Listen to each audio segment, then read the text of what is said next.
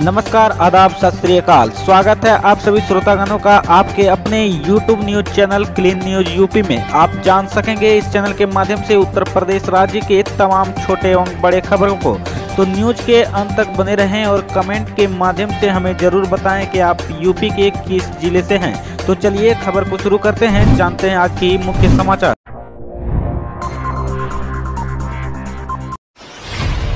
चलिए डालते हैं यूपी पंचायत चुनाव पर एक नज़र। 18 मार्च को जारी होगी पंचायत चुनाव की अधिसूचना। चारों पदों के लिए एक साथ वोटिंग। जी हाँ, उत्तर प्रदेश में पंचायत चुनाव कराने के लिए राज्य निर्वाचन आयोग ने भले ही हाई कोर्ट से 60 दिन की मोहलत मांगी थी, लेकिन वर्ष 2000 में आयोग मात्र सैंतीस दिनों में चुनाव की प्रक्रिया पूरी करने का रिकॉर्ड बना चुका है।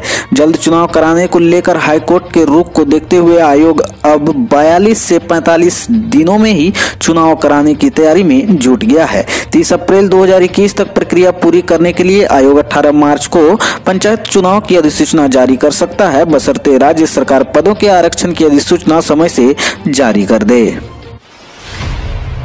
यूपी में 11 महीने बाद 10 फरवरी से खुलेंगे छोटे बच्चों के स्कूल, सीएम योगी ने दिया निर्देश। जी हाँ, यूपी में नौवीं से बारहवीं तक के स्कूल खुलने के बाद अब छोटे बच्चों के स्कूल भी खुलेंगे। कोरोना के कारण बंद चल रहे यह स्कूल करीब 11 महीने बाद खोले जाएँगे। सीएम योगी ने कुछ दिन पहले स्कूलों को खोलने के लिए अधिकारियों को व्यवस्था करने का निर्देश दिया था। अधिकारियों का प्रस्ताव मिलने के बाद इस पर शुक्रवार की दोपहर आदेश जारी हो गया। सीएम योगी ने निर्देश दिया कि केंद्र सरकार द्वारा जारी गाइडलाइन के अनुसार ही स्कूल खोले जाएँगे। आदेश में कहा गया है कि 10 फरवरी से छठी से आठवीं तक के स्कूल खुल जाएँगे। एक मार्च से पहली से पांचवी तक के सभी स्कूल खुल जाएँगे। फार्मर प्रोटेस्ट को लेकर उत्तर प्रदेश, उत्तराखंड में नहीं होगा चक्का जाम। किसान नेता राकेश टिकेत ने किया ऐलान। जी हाँ, शनिवार को होने वाले चक्का जाम की तैयारियों के बीच किसान नेता राकेश टिकैत और बलबीर सिंह राजेवाल ने ऐलान किया है कि उत्तर प्रदेश, उत्तराखंड में चक्का जाम नहीं होगा। इस दिन केवल किसान ज्ञापन देंगे। इससे पहले भारतीय किसान यूनियन के राष्ट्रीय प्रवक्ता राकेश टिकैत ने किसानों से अपील करते हुए कहा है कि जो लोग यहाँ नहीं आ पाए हैं, वो अपनी अपनी जगहों पर शांति पूर्ण तरीके से शनिवार को चक्का जाम करें। उन्होंने कहा है कि जाम दिल्ली में नहीं होगा। वहीं चक्का जाम की खबरों के बीच दिल्ली पुलिस के पीआरओ चिन्मय बिस्वाल ने बताया है कि प्रदर्शनकारी किसानों ने चक्का जाम का प्रस्ताव रखा है। ऐसे में इस दौरान 26 जनवरी जैसे हालात न हो जाएँ, इसलिए दिल्ली पुलिस ने पुख्ता इंतज़ाम किए हैं, ताकि दिल्ली की सीमाओं से कोई भी असामाजिक तत्व राजधानी के भीतर न घुस सके। चाचा शिवपाल को आई भतीजे अखिलेश की याद। समाजवादी पार्टी से बाहर हुए पूर्व मुख्यमंत्री और प्रगतिशील समाजवादी पार्टी के अध्यक्ष शिवपाल यादव को एक बार फिर से अपने भतीजे पूर्व मुख्यमंत्री अखिलेश यादव की याद सताने लगी है। शिवपाल ने कहा, अगर अखिलेश साथ होते तो उत्तर प्रदेश सहित दो और राज्यों में उनकी सरकार होती। जी हाँ, हालाँकि इस दौरान उन्होंने सपा के साथ गठबंधन पर साफ़ इंकार कर दिया। शिवपाल ने कहा कि आगामी यूपी विधानसभा चुनाव के लिए छोटे छोटे दलों का विलय होगा। समाजवादी पार्टी प्रमुख अखिलेश यादव ने कहा, भाजपा का स्वतंत्रता आंदोलन से नहीं है कोई संबंध, सिर्फ़ दिखावटी चर्चा। जी हाँ, समाजवादी पार्टी के अध्यक्ष अखिलेश यादव ने कहा कि भारतीय जनता पार्टी का स्वतंत्रता आंदोलन से कोई संबंध नहीं रहा है। बीजेपी केवल दिखावटी चर्चा करती है, स्वतंत्रता आंदोलन की चर्चा करना ही पर्याप्त नहीं, बल्कि स्वतंत्रता सेनानियों के मूल्यों को अपनाकर उन पर चलने का संकल्प ही लेना चाहिए। अखिलेश यादव ने कहा कि प्रतिबद्धताएँ व उसकी प्राथमिकताएँ तय करने के साथ उन पर पूरी निष्ठा रखते हुए मन, क्रम, वचन से समर्पण करना होता है।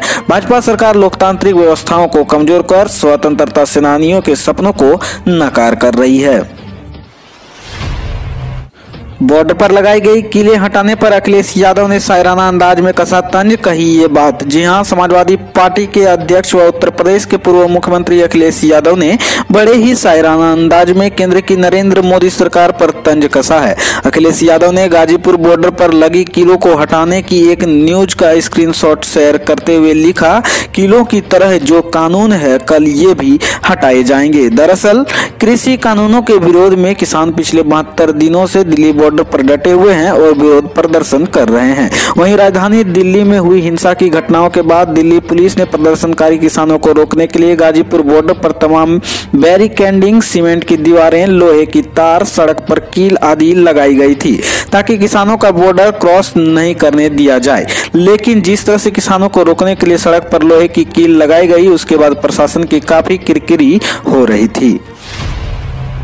योगी सरकार का बड़ा फैसला, हरिद्वार से वाराणसी के बीच बनेगा गंगा एक्सप्रेसवे। जी हाँ मकान, दुकान या फिर खोमचे वाले यूपी में अब सभी को देना होगा कूड़ा उठवाने का पैसा। जी हाँ यूपी की योगी सरकार उत्तर प्रदेश ठोस अपशिष्ट नियमावली 2021 बनाने जा रही है। ऐसे में अब प्रदेश के हर शहरी निकाय में कूड़ा उठवाने का चार्ज लिया जाएगा। जी हाँ अब तक कुछ चुनिंदा शहरों में ही कूड़ा उठवाने का चार्ज लिया जाता था। अब इसे प्रदेश के हर शहरी निकाय में लागू करवाने की तैयारी है। नगर विकास विभाग ने जो मॉडल ड्राफ्ट तैयार किया है, उसके मुताबिक बड़े नगरों निगमों में 500 वर्ग फुट के मकान पर चालीस रूपए पाँच से 2000 वर्ग फुट के मकानों पर एक सौ मासिक चार्ज लिया जाना है। अखिलेश यादव के ड्रीम प्रोजेक्ट के मुरीद हुए सीएम योगी के मंत्री बोले, शानदार, इससे प्रदेश का गौरव बढ़ेगा। जी हाँ, अखिलेश यादव की समाजवादी पार्टी की सरकार ने उत्तर प्रदेश की इटावा के बेहड़ों में स्थापित की गई सफारी की प्रशंसा। इन दिनों योगी सरकार के कृषि मंत्री और ज़िले के प्रभारी मंत्री सूर्य प्रताप शाही कर रहे हैं। हालाँकि यह पहला मौका नहीं है जब योगी सरकार का कोई मंत्री इस महत्वपूर्ण प्रोजेक्ट की तारीफ़ कर रहा है। इससे पहले साल दो हज़ार उन्नीस में चौबीस नवंबर को शुभारंभ मौके पर राज्य के वन मंत्री द्वारा सिंह चौहान के अलावा पूर्व केंद्रीय राज्य मंत्री और इटावा के सांसद प्रोफेसर रामशंकर कैठेरिया भी अखिलेश यादव की इस परिकल्पना की भी जमकर तारीफ़ कर चुके हैं। यूपी में शांति भंग के नाम पर पुलिस की मनमानी से हाईकोर्ट नाराज़, कहा निर्देशों का उत्पीड़न रोकने वाला सिस्टम बनाए। जी हाँ, पुलिस ने एक पारिवारिक विवाद में वाराणसी के एक व्यक्ति पर शांति भंग की धारा लगाकर उसे 10 दिन तक कैद में रखा था। इस मामले को लेकर इलाहाबाद हाईकोर्ट ने सरकार को निर्देश, लोगों को उत्पीड़न रोकने का तंत्र विकसित करने का आदेश दिया है। जी हाँ उत्तर प्रदेश में शांति भंग की आशंका पर पाबंद करने और हिरासत में लेने में पुलिस की मनमानी पर इलाहाबाद हाईकोर्ट ने नाराज़गी ज़ाहिर की है। हाईकोर्ट ने प्रदेश सरकार को ऐसा तंत्र विकसित करने का निर्देश दिया है, जिससे निर्देश लोगों को उत्पीड़न रोका जा सके। कोर्ट ने एसडीएम वाराणसी से भी जवाब मांगा है। लोक भवन के सामने एक ही परिवार के सात लोगों ने की आत्मदाह की कोशिश। जी हाँ, उत्तर प्रदेश की राजधानी लखनऊ में सनसनीखेज घटना सामने आई है। राजधानी के हजरतगंज थाना क्षेत्र स्थित लोक भवन गेट के सामने एक बार फिर आत्मदाह की कोशिश की गई है। शुक्रवार को एक ही परिवार के सात लोगों ने खुद पर पेट्रोल डालकर आत्मदाह करने की कोशिश की है। इस दौरान मौके पर मौजूद पुलिस कर्मियों ने परिवार को आत्महत्या करने से रोक लिया। जानकारी के मुताबिक परिवार के मुखिया राजा राम पत्नी रामश्री बेटा उमेश, पत्नी उषा देवी, बहन पुष्पा, बेटे वीरू यादव और अंकुल ने आत्मदाह का प्रयास किया। परिवार हरदोई ज़िले के धन्नापुरवा का रहने वाला है। बताया गया है कि मकान पर दबंगों के कब्जे किए जाने से परेशान होकर परिवार ने यह कदम उठाया है। कार्ड से ही खत्म होगी पेंशन की टेंशन। घर बैठे ऑनलाइन निपटाएँ सारा काम। अथॉरिटी ने नेशनल पेंशन सिस्टम के तहत अपने नए ग्राहकों के लिए आधार आधारित ऑनलाइन पेपर लेस केवाईसी प्रक्रिया की अनुमति दे दी है। यह प्रक्रिया तत्काल केवाईसी वेरिफिकेशन की वजह से एनपीएस खाते को तत्काल एक्टिव करने में सक्षम बनाती है और ग्राहक द्वारा एनपीएस अंशदान के तत्काल जमा की सुविधा भी प्रदान करती है। इस तहत आप घर बैठे ऑनलाइन में पेंशन का सारा काम निपटा सकते हैं। दस मिनट में फुल चार्ज हो जाएगा स्मार्टफ़ोन जियो में ला रही है चार्जिंग टेक्नोलॉजी इन दिनों स्मार्टफ़ोन निर्माता कंपनियों नई नई टेक्नोलॉजी पर काम करी इसमें चार्जिंग टेक्नोलॉजी भी शामिल है। बता दें कि यूज़र जब नया फ़ोन खरीदते हैं तो उसमें कैमरे और अन्य फीचर के साथ बैटरी जो चेक करते हैं। ज़्यादा बैटरी बैकअप वाला फ़ोन यूज़र्स को पसंद आता है, क्योंकि उसमें जल्दी जल्दी बैटरी खत्म नहीं होती है। वैसे आजकल जो स्मार्टफ़ोन आ रहे हैं, उसमें बैटरी, फास्ट चार्जिंग सपोर्ट के साथ आती है। मतलब कम समय में फ़ोन चार्ज हो जाता। है अब चीनी स्मार्टफ़ोन कंपनी जियोमी चार्जिंग के एक खास टेक्नोलॉजी पर काम कर रही है। दावा किया जा रहा है कि इस टेक्नोलॉजी के ज़रिए मात्र 10 मिनट में आपका स्मार्टफ़ोन सौ फ़ीसदी चार्ज हो जाएगा। बिगड़ रही है हमारी सेहत। मधुमेह रोगियों में भारत दूसरे स्थान कोविड 19 महामारी ने हमें एहसास कराया कि स्वास्थ्य बढ़कर कुछ भी नहीं है। परिस्थितियाँ कैसे भी हो, फिट और स्वस्थ बने रहना अब हर किसी की प्राथमिकता बन चुकी है, लेकिन दुनिया का दूसरा सबसे ज़्यादा कोविड प्रभावित देश होने के बावजूद भारत में लोग स्वास्थ्य को लेकर अब भी लापरवाह बने हुए हैं। फिटनेस डिस्कवरी प्लेटफॉर्म द्वारा किए गए एक हालिया सर्वे में तिरपन फ़ीसदी प्रतिभागियों ने स्वीकार किया कि फिट रहने के लिए जिस अनुसार और संपन्न की ज़रूरत होती है, वह उसमें नहीं है। इतना ही नहीं, सप्ताह में तीन से ज़्यादा बार वे जिम या हाई इंटेंसिटी एक्टिविटी से जी चुराते, जिम या योग नहीं करते। मस्जिद नेवी का चीफ कुक गायब, घर में मचा कोहराम, पीएम से गुहार, मेरे बेटे को वापस ला दो। खबर है, कानपुर से, रसिया से मलेशिया जाते समय रास्ते में मस्जिद नेवी का चीफ कुक अचानक लापता हो गया, जिसकी खबर फ़ोन पर परिवारिक जन को मिलने से घर में कोहराम मच गया। माँ बाप बहन, पत्नी का रो रो कर बुरा हाल है। माँ ने प्रधानमंत्री से बेटी की सही सलामती वापसी की गुहार लगाई है।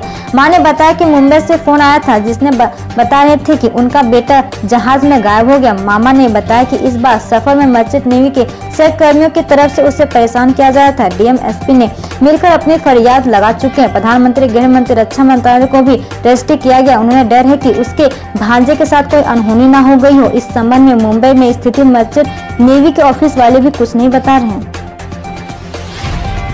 तो उसमें मूलभूत सुविधाएँ नहीं होने पर रेलवे पर बीस हज़ार का हर्जाना खबर है जोधपुर से।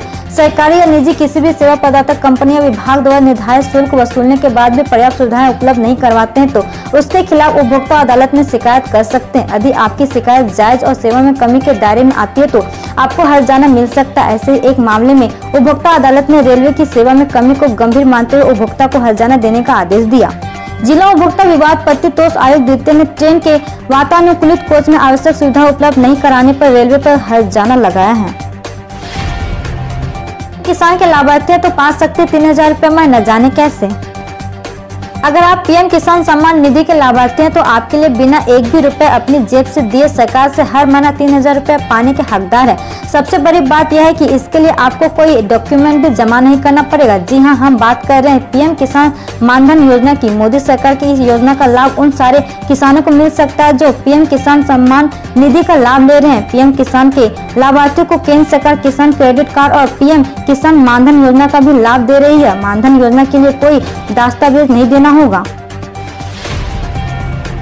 यूपी उत्तराखंड में आज नहीं होगा चक्का जाम। राकेश टिकट ने बताई ये वजह। तीनों कृषि कानून को वापस लिए जाने की मांग को लेकर बीते दो महीने से अधिक समय से दिल्ली के बॉर्डर पर धरने पर बैठे किसानों से आज, यानी शनिवार को देश भर में चक्का जाम करने का फैसला किया था। लेकिन उससे पहले अब किसान नेता राकेश टिकट का एक बड़ा बयान सामने आया है। इस आंदोलन से जुड़े किसान संगठनों द्वारा 6 फरवरी को चक्का जाम करने से पहले राकेश टिकट ने कहा है कि आज उत्तर प्रदेश और उत्तराखंड में चक्का जाम नहीं होगा। इस दोनों राज्यों में किसान सिर्फ़ जिला अधिकारी को ज्ञापन सौंपेंगे। पर जारी रहेगा बर्फबारी का सिलसिला। देश के इन राज्यों में चार दिन तक पड़ेगी कड़ाके की ठंड। राष्ट्रीय राजधानी दिल्ली समेत समूच उत्तर भारत के मौसम में बड़ा उतार चढ़ाव देखने को मिल रहा है। राजधानी दिल्ली और आसपास के इलाकों में गुरुवार को दिन भर जहाँ गरज के साथ तेज बारिश पड़ी, वहीं शुक्रवार का दिन सूरज के तपिश के साथ निकला। हालाँकि इस बीच ठंडी हवाओं का असर बरकरार रहा। इसके साथ ही भारतीय मौसम विभाग के वेस्टर्न डिस्टर्बेंस की वजह से चक्रवर्ती हवाएँ चलने की उम्मीद जताई है। मौसम विभाग के अधिकारियों के अनुसार ये हवाएँ पाँच किलोमीटर से लेकर सात किलोमीटर की रफ्तार से चल सकती है जिसकी वजह से अगले 24 घंटे के भीतर पश्चिम हिमालय क्षेत्र के कुछ भागों में हल्की बारिश या बर्फबारी की संभावना है। डोनाल्ड ट्रंप ने महाभियोग की सुनवाई में गवाही देने से किया इनकार। 8 फरवरी से शुरू होगी प्रक्रिया। अमेरिका के पूर्व राष्ट्रपति डोनाल्ड ट्रंप के खिलाफ महाभियोग की प्रक्रिया 8 फरवरी से शुरू होगी। उससे पहले ट्रंप ने साफ़ कर दिया कि वे महाभियोग की सुनवाई में गवाही नहीं देंगे। दरअसल गुरुवार को अमेरिकी सदन में महाभियोग प्रक्रिया के प्रबंधकों ने ट्रंप को बीते 6 जनवरी की घटना के संदर्भ में अपनी भूमिका को लेकर सीनेट में महाभियोग की सुनवाई में गवाही देने के लिए बुलाया था। इस पर ट्रंप के वकील ने स्पष्ट कर दिया कि वे इस मामले में गवाही नहीं देंगे। शिवसेना का सरकार पर बड़ा आरोप, कहा सौ से ज़्यादा युवा लापता, क्या सबका काउंटर कर दिया? तीनों कृषि कानून को वापस लिए जाने की मांग को लेकर किसानों का प्रदर्शन अब और भी तेज हो गया और इस पर राजनीतिक रंग भी चढ़ गया। तमाम विपक्षी दल संसद में किसानों का मुद्दा उठा रहे और सरकार को घेरने की कोशिश में है। इसी कड़ी में शिवसेना ने केंद्र सरकार पर किसानों के मुद्दे पर गंभीर आरोप लगाए राष्ट्रपति के अभिभाषण पर चर्चा के दौरान राज्यसभा में शिवसेना के सांसद संजय राउत ने मोदी सरकार पर भड़ास निकालते हुए कहा कि जिस तरह से किसान आंदोलन को बदनाम करने की कोशिश हो रही है, वह देश की प्रतिष्ठा के लिए ठीक नहीं है। आरबीआई एमपीसी के ऐलान के बाद शेयर बाज़ार में उतार चढ़ाव, सेंसेक्स इक्यावन हज़ार के नीचे बंद। आरबीआई एमपीसी के बाद आज शेयर बाज़ार में ज़बरदस्त उतार चढ़ाव का माहौल देखने को मिला। अंत में बाज़ार मामूली तेज़ी के साथ लगातार पाँचवें दिन हरे निशान पर बंद हो गया। ओएल आईटी टेक और ऑटो सेक्टर में ज़्यादा मुनाफा वसूली देखने को मिली, जिसकी वजह से शेयर बाज़ार का प्रमुख सूचकांक सेंसेक्स इक्यावन हज़ार अंकों को पार करने के बाद नीचे आ गया और पचास हज़ार अंकों पर बंद हुआ। वहीं निफ्टी पंद्रह हज़ार अंकों पर ज़्यादा देर तक नहीं टिक सकी और रिकॉर्ड हाई से नीचे उतरकर बंद हुई। आपको बता दें कि शेयर बाज़ार बीते पाँच दिन में दस फ़ीसदी ज़्यादा की तेज़ी के साथ बंद हो चुका है। छोटा बजट वालों के लिए फ़ायदेमंद पोस्ट ऑफ़िस की ये स्कीम रिटर्न में पा सकते लाखों रुपए। भविष्य के लिए सही जगह निवेश ज़रूरी है। अगर आपके पास इन्वेस्ट करने के लिए ज़्यादा रकम नहीं है, लेकिन आप अच्छा रिटर्न चाहते हैं तो पोस्ट ऑफ़िस के रैंकिंग डिपॉजिट को ट्राई कर सकते हैं। पाँच से लेकर दस साल के लिए मौजूद इस स्कीम में आप लखपति बन सकते इस वक्त योजना के तहत पाँच दशमलव आठ फ़ीसदी का ब्याज दिया जा रहा है। यह ब्याज वार्षिक होता है, लेकिन इसमें हर तिमाही पर कंपाउंड इंटरेस्ट भी लगता है। ऐसे में आपको ज़्यादा फ़ायदा मिलेगा। महाराष्ट्र कांग्रेस अध्यक्ष बने नाना पटोले। एक दिन पहले दिया था स्पीकर पद से इस्तीफा। खबर है, नई दिल्ली से। कांग्रेस हाईकमान से महाराष्ट्र विधानसभा के पूर्व स्पीकर नाना पटोले को शुक्रवार को राज्य कांग्रेस इकाई का अध्यक्ष नियुक्त किया गया है। उन्होंने एक दिन पहले स्पीकर पद से इस्तीफा दिया था। महाराष्ट्र के भंडारा ज़िले के सकुले से विधायक पटोले को राजस्व मंत्री बाला साहब थोराट की जगह प्रदेश कांग्रेस अध्यक्ष की ज़िम्मेदारी सौंपी गई है। हाल ही में बाला साहब थोराट की अध्यक्षता में कांग्रेस मंत्रियों का एक प्रतिनिधि मंडल दिल्ली में पार्टी नेतृत्व से मिला था। पटोले ने दिल्ली में पार्टी के पूर्व प्रमुख राहुल गांधी से भी मुलाकात की थी। तभी से उनका नाम राज्य कांग्रेस अध्यक्ष के पद के लिए वह चर्चा में थे तालिबान ने घात लगाकर किया आतंकी हमला। सोलह सैनिकों की मौत, दो को बनाया बंधक।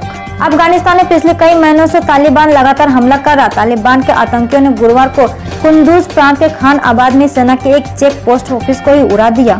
इस घाती हमले में 16 सैनिकों की मौत हो गई। जानकारी के मुताबिक यह हमला खान आबाद ज़िले के ताप ए अख्तर इलाके में हुआ, जिसमें 16 सैनिक मारे गए और इसके अलावा दो सैनिकों को तालिबानी अपने साथ ले गए। इस भयावह हमले के बाद सरकार ने इस जगह एक आर्मी के एक यूनिट तैनात करने का आदेश दिया। यूनिट इस हमले के लिए जिम्मेदार आतंकियों की तलाश करेगी।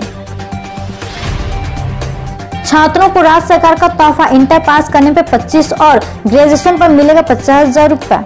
खबर है, नई दिल्ली से छात्रों को पढ़ने के लिए प्रेरित करने एवं उसकी हौसला फजाई के लिए बिहार सरकार मुख्यमंत्री कन्या उत्थान योजना चलाती है। इसमें छात्रों को स्कॉलरशिप दी जाती है। इस बार बिहार सरकार ने छात्रवृत्ति की रकम बढ़ा दिया है।